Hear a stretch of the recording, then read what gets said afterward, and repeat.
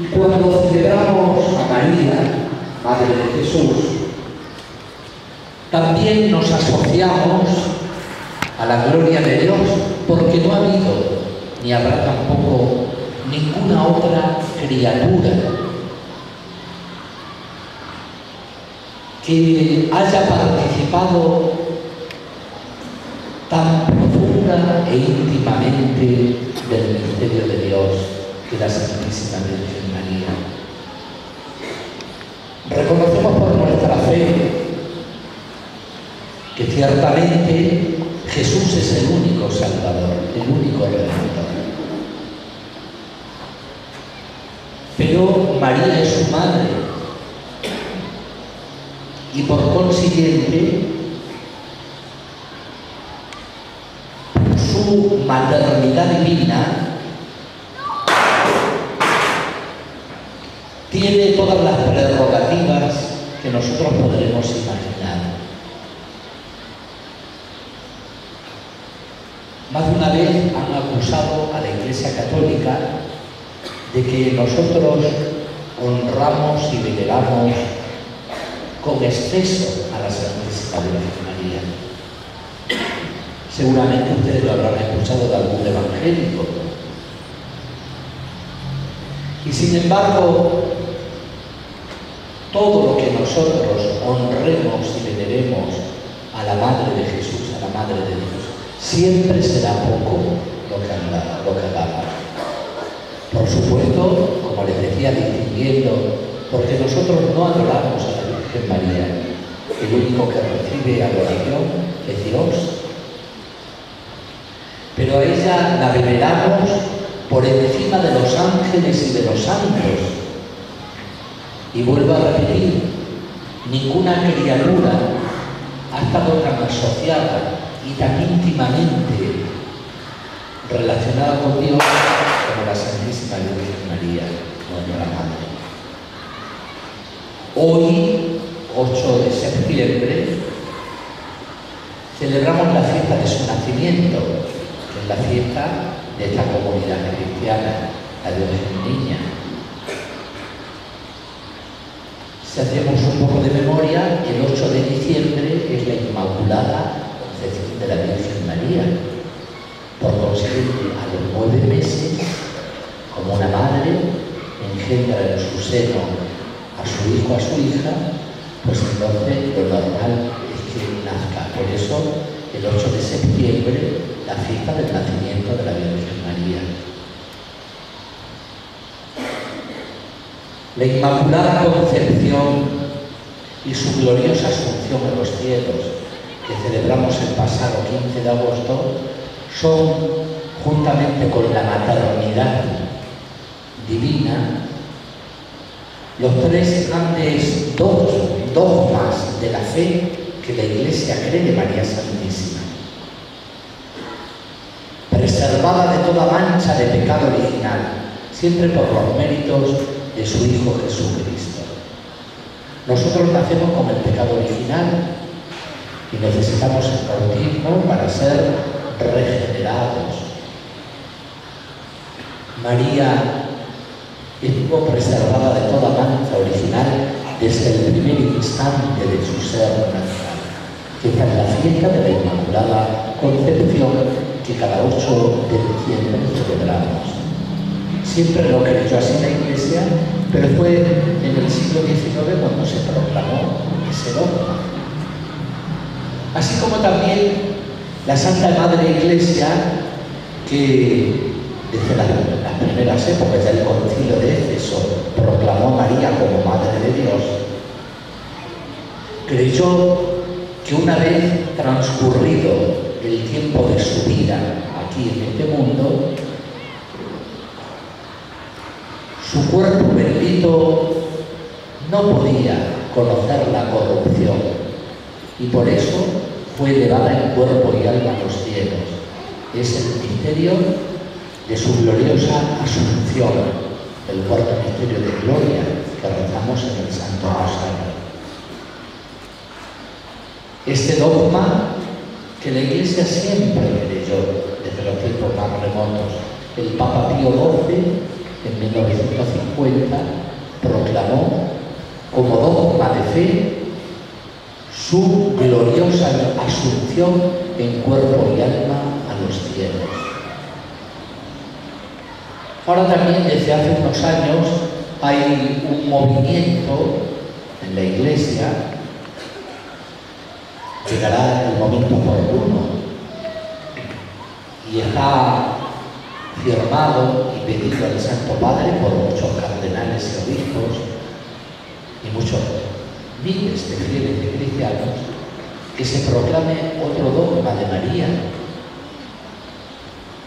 sobre que es abogada, auxiliadora nuestra y cooperadora, ¿verdad? Corredentora con Cristo. Llegará su tiempo, ¿verdad? Hay un peligro grande para que se proclame también como dogma de fe esta íntima relación de María en la obra de la redención. Vuelvo a repetir, Jesús es el único redentor.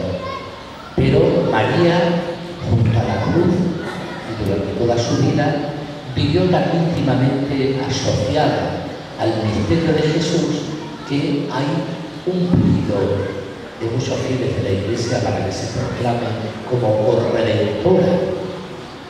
Esto puede suscitar, evidentemente, sobre todo en estas iglesias separadas a las que yo aludía antes, que creen que con exceso veneramos a la Virgen María, motivo a lo mejor de alguna división. Por eso, con prudencia, el Santo Padre tendrá que ver el momento más oportuno pero no cabe duda de que la Virgen María, por, su, por ser madre de Dios, de Jesús, por ser madre de la Iglesia, por ser, como rezamos en la salve, abogada nuestra, pues puede recibir perfectamente este título de corredentora de nuestra salvación. Así que recibimos también nosotros para que cuando el Señor y la Iglesia crean oportunos, el tiempo y el momento, pues se proclame también, sin para gloria de Dios, este nuevo dogma de la Virgen María. Estamos todos llenos de alegría y estamos viviendo unas, unos tiempos muy especiales Nosotros como iglesia diocesana vivimos hace cinco años nuestro jubileo de 50 años de vida eclesial, joven todavía en relación con otras iglesias o diócesis particulares. Y ahora estamos el próximo mes de octubre por dar inicio al año de la fe, ya he visto en el programa de ustedes, han colocado el logotipo y muchas capillas. Ayer, por ejemplo, estaba en la parroquia Sagrada Familia, el circuito 5, que hoy celebra 30 años de la creación de la parroquia Sagrada Familia, y también han elegido ya anticipándose al año de la fe, en familia caminemos firmes en la fe, como lema, haciendo alusión precisamente a esta apertura del año de la fe que con toda la Iglesia vamos a dar inicio el 11 de octubre y que nosotros el sábado 13 en la ciudad de Pirané pues tendremos nuestra apertura diocesana con todo lo que podamos y estemos presentes. Y este es un tema al cual me tengo que referir porque verdaderamente es como el Papa lo manifiesta, Benedicto XVI, que nos ha convocado a este año de la fe, un tiempo de gracia, un tiempo de oportunidad, un tiempo de posibilidad de profundizar nuestra propia fe, el contenido de la fe, que como sabemos está sintetizado en el credo. El credo que sabemos de memoria, que rezamos, Ahí están los artículos más importantes de nuestra fe. Un solo Dios, el Padre, Hijo y Espíritu Santo. En este designio amoroso de Dios, un designio de salvación para toda la humanidad, el Padre, fuente y origen de todo, el que envía al Hijo al mundo, Jesús es el Redentor, que asume la naturaleza humana, por eso sin dejar de ser Dios, también es verdadero hombre, Dios y hombre verdadero. Nacido de la Santísima Virgen María por obra y gracia del Espíritu Santo. Encargado por nosotros, muerto en la cruz, resucitado al tercer día, está sentado a la derecha del Padre, intercediendo por nosotros. Así como también creemos en el Espíritu Santo, que juntamente con el Padre y el Hijo es la tercera persona de la Santísima Trinidad, el Espíritu Santo, que en la fórmula del credo niceno constantinopolitano, que nos vamos a proponer aprenderlo de memoria durante este año de la fe, explicita más, porque el credo breve, que es el credo de los apóstoles, el romano, el que nosotros rezamos, creo en el Espíritu Santo, la Santa Iglesia Católica, la comunión de los santos. Pero en la fórmula del credo del concilio niceno constantinopolitano explicita un poquito más la persona y la figura del Espíritu Santo cuando afirma, creo en el Espíritu Santo, Señor y dador de vida, que procede del Padre y del Hijo, que con el Padre y el Hijo recibe una misma adoración y gloria y que habló por los profetas. Así como también el misterio de la Iglesia se explicita un poquito más en esta fórmula, el credo, que como digo, seguramente aprenderemos y después rezaremos juntos sobre todo. Decimos, creo en la Iglesia que es una, santa, católica, apostólica. Por eso digo que estamos viviendo un tiempo verdaderamente de gracia, un tiempo de salvación. Y hemos de aprovechar este tiempo que el Señor nos concede para no solamente perseverar y ser firmes en la fe, sino para ahondar y profundizar lo que significa ser creyente. Y con la ayuda de la gracia de Dios, vivir lo más coherentemente nuestra fe, conforme al estado de vida, conforme al propio estado de vida de cada cual. El Concilio Vaticano II, cuyos documentos el Papa también nos pide, y que con el Catecismo de la Iglesia Católica leamos y profundizamos, profundicemos durante este año de la fe, este concilio que precisamente el 11 de octubre, por eso se ha elegido esta fecha, se van a cumplir 50 años de la apertura del Concilio Vaticano II y 20 de la publicación del Catecismo de la Iglesia Católica. En 1962 dio inicio, un 11 de octubre, al concilio que el Papa Juan XXIII, el año anterior, en 1961, en la Navidad del 61, el 25 de diciembre, había convocado y se dio apertura en octubre del 62. Yo estoy les voy a dar una primicia a ustedes. Estoy escribiendo la carta pastoral para este año fe, espero para que me den tiempo y se pueda publicar estos días próximos. Y hago memoria porque se nos pide que los obispos escribamos una carta a fin de incentivar a los fieles a la lectura tanto del Catecismo de la Iglesia Católica como del Vaticano II. Yo recuerdo como hoy mismo que estoy delante de ustedes, van a hacer el cálculo ahora y van a descubrir la edad que tengo, y no miento.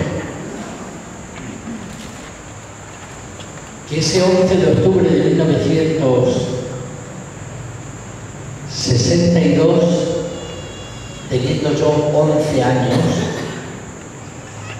hacía una semana que había entrado al seminario menor, porque allí en España por lo menos, y acá creo que también en una época a veces entraba en el seminario menor y luego se pasaba al mayor en lugar de, estudiar la secundaria, ¿verdad? Pues había un seminario menor y luego ya se pasaba directamente al seminario mayor. Y recuerdo perfectamente, porque allí se inicia el curso escolar de octubre a junio en el hemisferio norte, Aquí nosotros vamos de marzo a diciembre, ¿verdad? Apenas llevaba una semana en el seminario, entró el superior, el formador, y nos dijo a los 42 alumnos, que éramos 42 de primer año,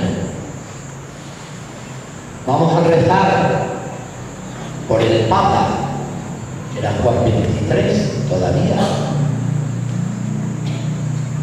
Luego ya vino Pablo VI que continuó con las sesiones del concilio, pero la primera sesión, como la convocatoria, estuvo realizada por el Papa Juan XXIII, el Papa Bueno.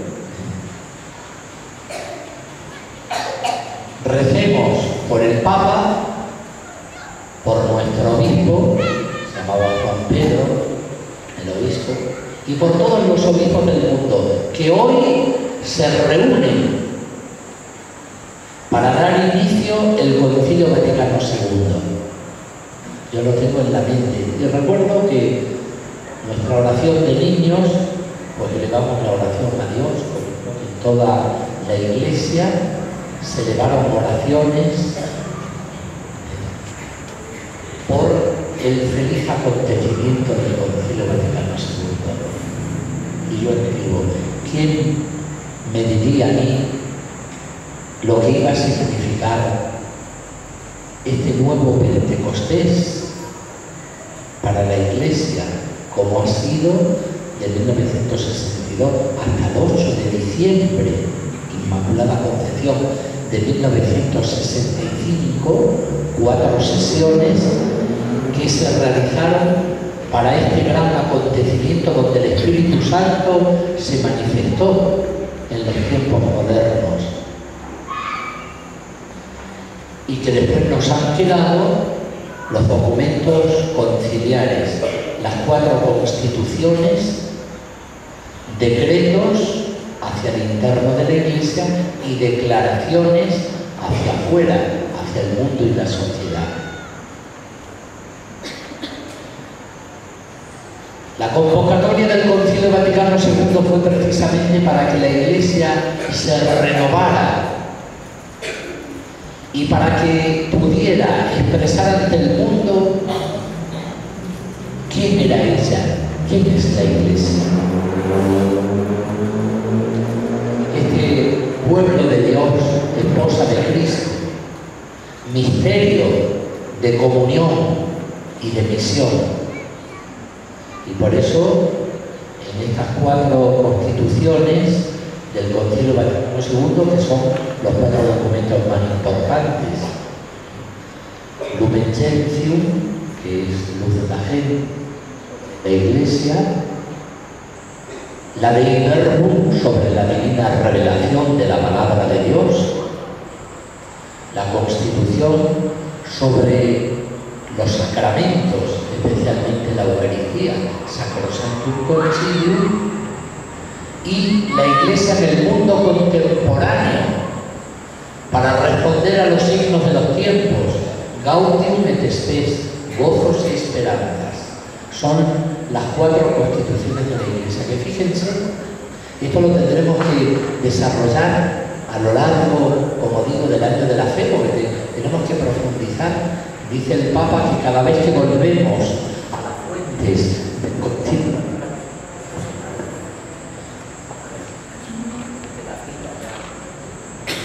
Ya parece que la pila se termina como yo también. Les decía que tenemos que profundizar. En 1985, el Papa Juan Pablo II convocó un sínodo de obispos extraordinario, así como ahora vamos a celebrar la asamblea ordinaria, decimotercera asamblea de los sínodos de obispos el próximo mes de octubre, con el lema La nueva evangelización para la transmisión de la fe cristiana. Precisamente va a comenzar los primeros días de octubre y cuando llegue un tiempito la apertura del año de la fe. Así que tenemos que rezar por este gran acontecimiento eclesial. Digo que en 1985 el Papa convocó un sínodo extraordinario porque se cumplieron 20 años de la clausura del Concilio Vaticano II, que fue el 8 de diciembre de 1965. Entonces, a los 20 años creyó conveniente convocar un sínodo para que se pudiera verificar y evaluar el conocimiento, la aplicación, algunos excesos también hubo, del Concilio Vaticano II en las iglesias particulares en la. Y felizmente, en ese sínodo de obispos, el relator, porque siempre hay un relator que presenta para luego hacer los trabajos y sacar las conclusiones, tuvo la feliz idea de unir en una frase las cuatro constituciones a las que me he referido antes. La Iglesia, Lumen Gentium, a la luz de la palabra de Dios, del Verbo, celebra los misterios de Cristo, Sacrosanto Concilio, para la salvación del mundo, Gaudium con esa frase ustedes van a recordar el contenido de las cuatro constituciones más importantes del Concilio Vaticano II. La Iglesia, que dice de ti misma, pues eres misterio de comunión, imagen de la Santísima Trinidad, que no busca otra cosa sino la comunión de la humanidad con Dios y de los hombres entre sí. Esa es la misión de la Iglesia, hacer que todos los hombres formemos la única familia de los hijos de Dios. A veces estamos tan divididos, separados, peleados, razas, discriminaciones, lenguas, pueblos, clases sociales, ricos, pobres, negros, blancos. Y sin embargo todos somos hijos de Dios, formando la única familia, la familia de los hijos de Dios. Este misterio de comunión, donde la Virgen María se nos presenta como modelo y tipo de la Iglesia, Virgen y Madre, para tener un corazón adherido a Dios y así de la misma manera que ella engendró a Cristo, la Iglesia también tiene que engendrar nuevos hijos a la fe. De ahí entonces esta semejanza y este parecido tan hermoso que el concilio dirá acerca de la Virgen María, tipo, modelo y ejemplo para la Iglesia. De ahí que la Iglesia, que somos todos nosotros, los bautizados, tenemos que imitar las virtudes de la Virgen María, su humildad, su sencillez, su docilidad a la palabra de Dios, esa aceptación de llevar también la cruz como Jesús, a fin de alcanzar después la gloria, como hemos escuchado en la primera lectura de la carta de los romanos que ha sido proclamada a los que el Señor eligió, los predestinó desde toda la eternidad. A ellos los redimió por medio de Jesucristo. Y a los que redimió, los glorificó. Nosotros todavía no estamos glorificados, la Virgen María sí, glorificada en cuerpo y alma. Vamos camino, esperemos, si no nos desviamos, de ser glorificados también. Predestinados, elegidos, redimidos, glorificados. Esa es la vocación del hombre, de la persona humana, que ya en Jesús y en la Virgen María se han realizado plenamente y nosotros vamos por este camino, ¿verdad? Elegidos por Dios desde toda la eternidad, amados por Él. Hemos sido llamados a ser miembros del pueblo de Dios, de la Iglesia. Hemos sido redimidos por la sangre de Cristo y también si perseveramos firmes en la fe, seremos también glorificados un día para participar de esa vida eterna y de esa gloria que el Señor nos tiene reservado. Esta es nuestra vocación. Bien, dentro de esta celebración, ahora en este momento, a continuación, nuestro hermano Roberto Juan Araya va a recibir el ministerio del lectorado. Ya recibió su rito de admisión, él ha participado en la escuela del diaconado, con todas las materias y con la aprobación también de su esposa, que está al lado, sus padres y su familia están de acuerdo también, va a recibir el lectorado, después el acolitado, Dios mediante, hasta alcanzar el diaconado permanente. El lectorado hace alusión, cuando escuchen bien la oración y el signo de la entrega de la palabra de Dios, que se le instituye precisamente para difundir, proclamar la palabra de Dios, la Sagrada Escritura, donde están contenidos los santos evangelios, los hechos de los apóstoles, las cartas de Pablo, las cartas católicas, el libro del Apocalipsis y también los libros de la ley y los profetas del Antiguo Testamento, porque forman una unidad la revelación del Antiguo y del Nuevo Testamento. Así será, por tanto, instituido oficialmente como lector comunidad y también para que pueda explicar el contenido de esa palabra de Dios. Así que es un ministerio, al decir ministerio, es un servicio. No es que creamos que es un grado uno más alto para distinguirse de los demás, no. Sí, distinguirse para servir y difundir la palabra del Señor. Ese es el fin. Así que entonces nos alegramos en este día de la Virgen Niña 2012, este hermano nuestro reciba este ministerio, este servicio en favor de la comunidad. La Iglesia, como Cristo, es servidora y cada día tiene que esforzarse por asemejarse más a Jesús, que no vino para ser servido, sino para servir y dar la vida por los demás la iglesia también tiene que amar y servir a los hombres, a la comunidad. Y sus ministros, no para que seamos servidos, sino para ser servidores de la comunidad.